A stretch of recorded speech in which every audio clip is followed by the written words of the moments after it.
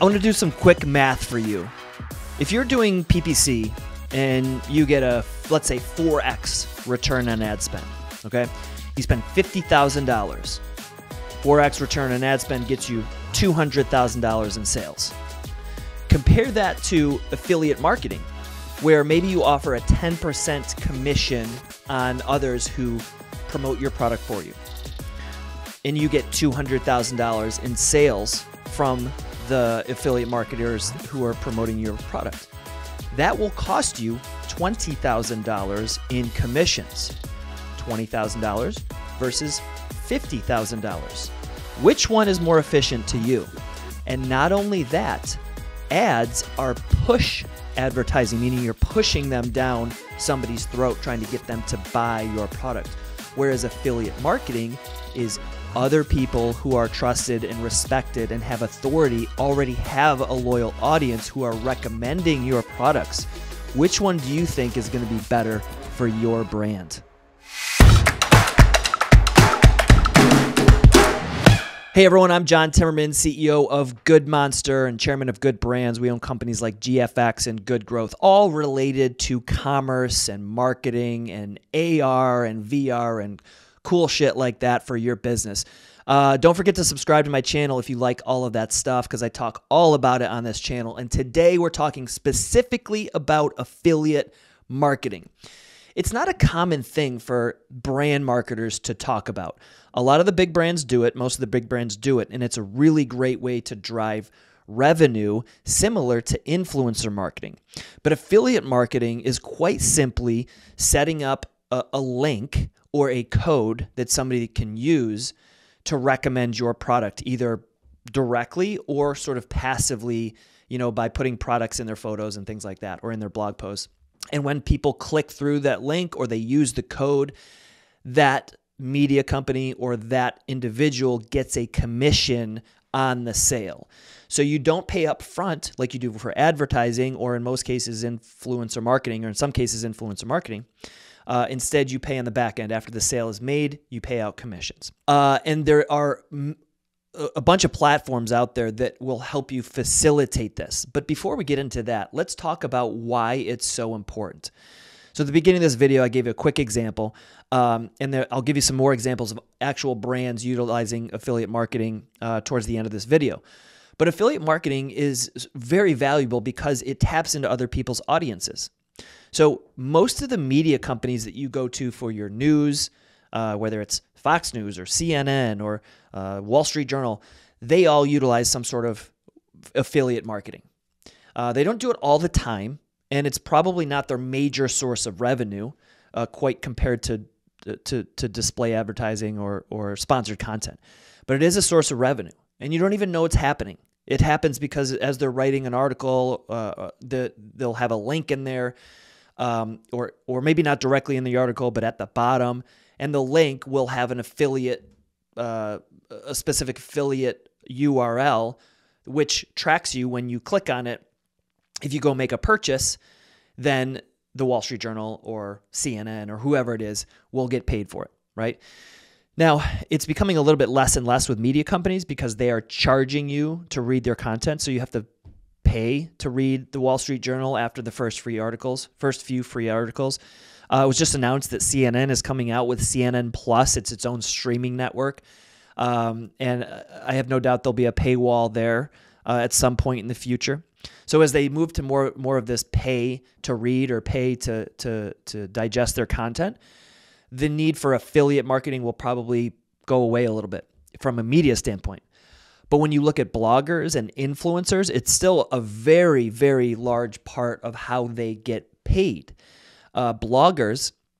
There's one actually that I just Adam Enfroy is the the guy's name. You can Google him. I don't know much about him, but I know he's built a million dollar blog by himself using specifically affiliate marketing.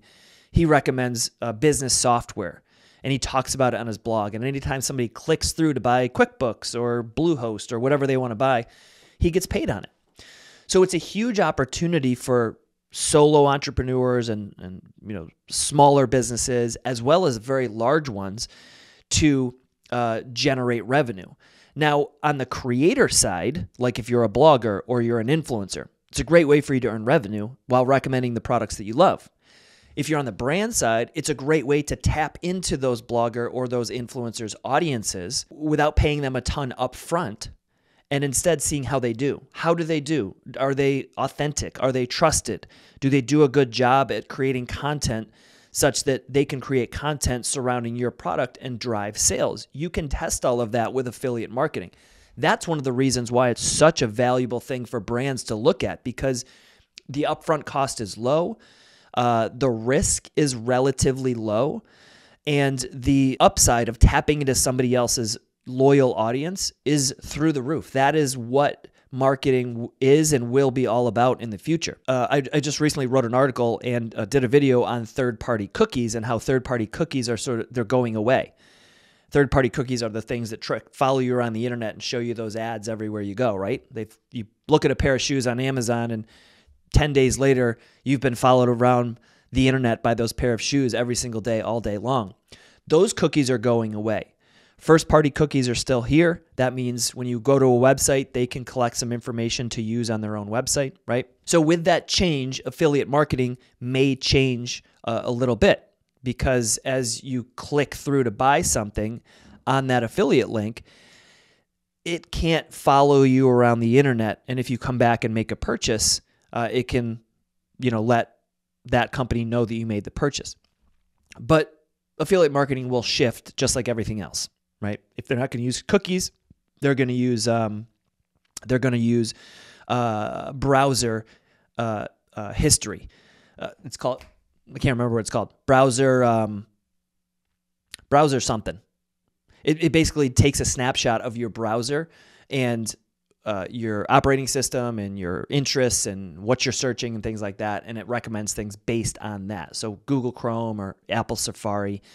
One of the largest reasons affiliate marketing is so important for brands is that it allows you to tap into a current, trusted, loyal audience of somebody else. It's somebody else recommending your brand or your product. That's why influencer marketing works so well uh, in fact, it'll influ- influencer marketing and affiliate marketing a lot of times goes hand in hand. An influencer might have social media channels, maybe they have a blog. And so if they like your product and they want to start an affiliate relationship with you where you get you give them a commission on anything that is sold through their code or their link, they could put a link on their blog. They could use a code on their Instagram channel. Um, they could share that link on their uh, on their LinkedIn or their Facebook. Um, they could put that link in their Instagram stories. So anytime somebody clicks on that link uh, and makes a purchase, they get paid, right?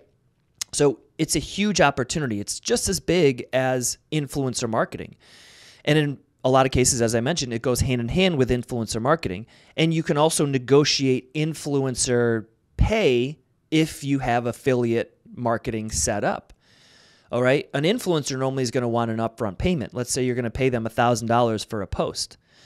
But if you have affiliate marketing and you're a reputable brand or you have proof of good affiliate sales by other influencers, you can go to them and say, listen, we'll give you 500 bucks for the post, uh, but we'll also give you 10 or 15% commission on anything that you sell. And here's five other influencers who have done the same thing and they, they earned $1,000 here and $5,000 there.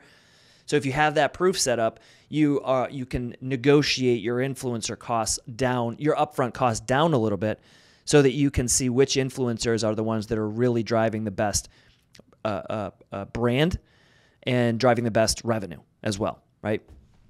So some examples of affiliate programs we have CJ um, affiliate is number one. Uh, Commission Junction is what they used to be called, and they've been around for decades. They were one of the first affiliate platforms. And all CJ does is they are the facilitator of the uh, commission sharing, uh, the actual payments of commissions, as well as the link and the tracking too. So you go into CJ, you sign up as a brand, you put how much commission you're willing to offer, you put um, you know any descriptions or instructions for affiliates. Influencers or bloggers can come onto CJ, they can search all the products on there, and they can say, you know what, I like this one. They pick yours, they sign up, and then CJ assigns them with a link and a code that they can then go and share. And anytime somebody makes a purchase, CJ affiliate uh, tracks that and notifies you how much sales was, was made per affiliate, and then uh, negotiates or, or facilitates rather the actual payment, the direct deposit into their PayPal or where they want. So it makes it super easy. Um, there's actually some uh, platforms that do this inside of Shopify. So if you're a Shopify store owner, uh, your e-commerce is run on Shopify. There's a plugin uh, known as Refersion. Refersion does essentially the same thing as CJ Affiliate, but it does it right within Shopify. So it makes it really easy for other Shopify stores actually to to use your um, uh, your catalog if they want to and recommend recommend it on their blog, right? So these are some more traditional affiliate platforms. Then there's a, a, a newer style of affiliate platform which almost blends Amazon, like the marketplace environment, with affiliate marketing, and that's uh, Rakuten. So Rakuten in the United States, you're going to start to see a ton of. I think they had Super Bowl commercials. They started in Japan, and they're big in Canada, they're big in France, and they're becoming big in the U.S. and they're they're growing globally. I think they have 1.6 billion users, and they're in about 30 countries. So Rakuten style is that they act as the marketplace. They act as the Amazon. So people can go and they can download their app and shop products. But what Rakuten does is they act as the affiliate. So instead of a blogger acting as the affiliate, or an influencer acting as the affiliate. Rakuten acts as a monster marketplace affiliate, recommending your products. So, as a brand, Rakuten can be huge because all you have to do is go in, sign up for Rakuten, and Rakuten will then go sell your products for you and they'll get a commission on it, right? So it's it's amazing. It's a great business model. I'm super interested to see uh, how that grows. And at Good Monster, we're getting into Rakuten, recommending it to some of our clients in addition to Amazon as another uh, outlet to to sell their products. Then uh, you also have Amazon Associates is Amazon's own affiliate program, where if you sell on Amazon, you can enter your product uh, or any of your products or your brand into Amazon Associates and then influencers, social media influencers can sign up to be an Amazon associate and they can go through and pick any of the products on Amazon to recommend. So there's, unless you do it off the platform, there's no way to force somebody or recommend your product to an Amazon associate, right? Uh, but you can make it available and then they can come and select your product if it's right for them.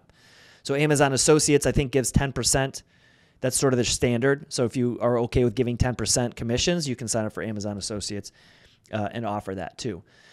Uh, another one is Apple. Actually, Apple does it for their iTunes products. So not the physical products like iPhones and, and MacBooks, but they offer commissions um, on uh, books, audiobooks, podcasts. That might be it. Games, maybe. Uh, so iTunes products Apple offers commission. So if you're a blogger and you love reviewing books and podcasts and content and things like that, you can sign up to become an Apple affiliate. And they have a variety of different commission structures depending on what it is. They, uh, I think it's seven percent uh, or something like that on a one-time purchase. But if it's a subscription, like if it's an app or something like that uh, in the App Store, then and you recommend that app, then I think they go up to two hundred percent of the initial uh, price, like on the first the like the first month's fee, right? So if a membership to an app is ten dollars, uh, they'll give you twenty bucks, but then you won't get the reoccurring commissions after that, right? That's how they recoup their their money. Um, so those are those are some of the platforms that can be utilized. And with a, with companies like CJ Affiliate, uh, another one is Awin, A W I N, very close, the same as CJ Affiliate um, you sign up for them, and then you can promote that affiliate program to anybody. And they can go and sign up using CJ Affiliate. So they don't have to be on CJ Affiliate or anything like that. Whereas Amazon Associates or uh, eBay Affiliate, that's for pr- products that are on their platform, right?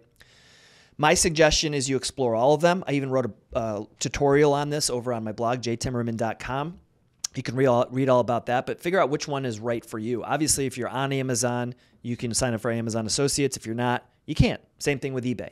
Same thing with Apple. But for CJ Affiliates and Awin, you can go no matter where your products are, sign up to become a brand and promote that to other affiliates. So, some examples of other brands that are doing this effectively MVMT. M as in Michael, VMT is a watch company. I am not wearing my MVMT watch today. I have one of them uh, two of them actually. Uh, it's a it's a watch company that really grew in the 2010s on social media. They grew their brand very effectively, and they were the they sort of positioned themselves as a luxury watch with a much more affordable price tag. So they're in the hundreds of dollars rather than the high hundreds or thousands. Um, everything is usually under 200 bucks, give or take. And MVMT started to use traditional affiliate marketing, but also a rewards program, which, depending on your definition, could be all under the affiliate uh, umbrella. So, affiliate marketing is paying commissions, actual money, right? Somebody recommends your product, one of their audience members buys it, uh, your brand pays the affiliate a commission for that purchase. A rewards program is a little bit different. You don't necessarily pay out actual money. A lot of times it's a credit for more purchases or it's a free uh, gift or, or, or something like that. So a rewards program is usually for current or repeat customers. And a rewards program acts like an affiliate, meaning current customers can uh, recommend a friend or recommend a product to a friend, and then they get you know fifty dollars in in credit that they can use, right? Um, and then that blends into other programs like a loyalty program, which is different than affiliate. Loyalty is if you buy, come back and buy products, then you get perks uh, that you can use for towards future products. But affiliate marketing is based on commission, and MVMT uh, is is widely successful. They combined this with influencer marketing which they use to grow their brand. So if you go back and look at their Instagram, which is the main platform they used to grow in the early days, it was all influencers. They sent their product to an influencer. They had them take the uh, the stereotypical watch picture, which was actually created by MVMT. It's basically a a shot down uh, on somebody's hand and feet doing something cool, like they're on the top of a mountain or they're snowboarding, and you know the picture focuses on the watch. They did this uh, and they sent it to influencers. Influencers would post this and say, use my code and get 15% off. We've all seen that, right? That's affiliate marketing. That's affiliate marketing. They are an affiliate of that company. They're recommending it and they get a percentage of the sale. Use my code, get 10% off. If you went and used that code, you get 10% off, but then they might get 10% commission. So MVMT did this uh, really, really well.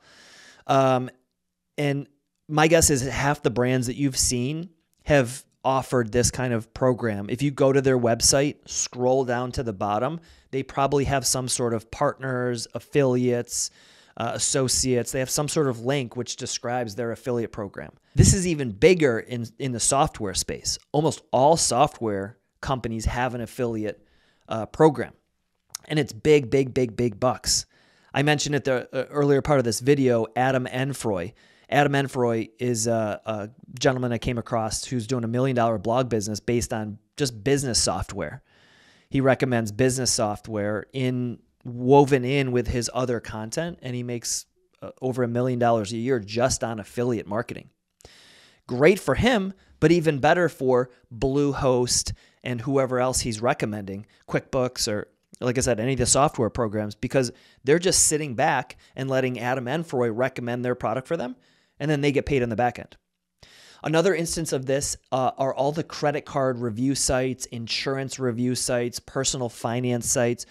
All of these sites utilize affiliate marketing. So, any of you consumers out there watching this, non marketers out there that don't know this world, all of those sites are making recommendations that are biased because those recommendations that they're making, if you click that credit card or that insurance policy or that personal finance software, they get paid. So that's not to say that what they're putting in their information is not right or it's not honest, but they are getting paid for it. So it's important for you to know that. So, from a brand perspective, this is huge bucks. You are leveraging other people's audience and other people's opinions and other people's recommendations to generate sales for yourself. And you generally only have to give up 10, 15, maybe 20% of the revenue from that sale uh, to get it. Okay. So not only are you're getting the revenue, but if you're partnering with the right influencers or the right affiliates, they're also helping to expose and and and uh, expand your brand to their audience.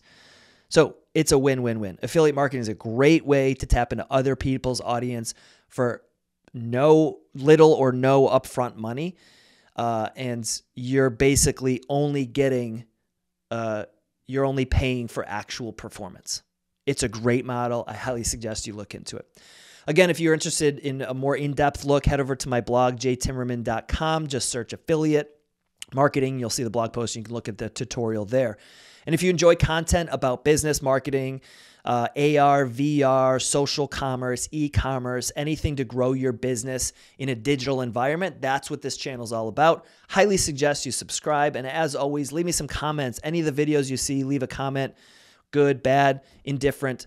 Uh, let me know how I'm doing. I use that feedback to craft my future videos. So thanks so much for watching. We'll see you next time.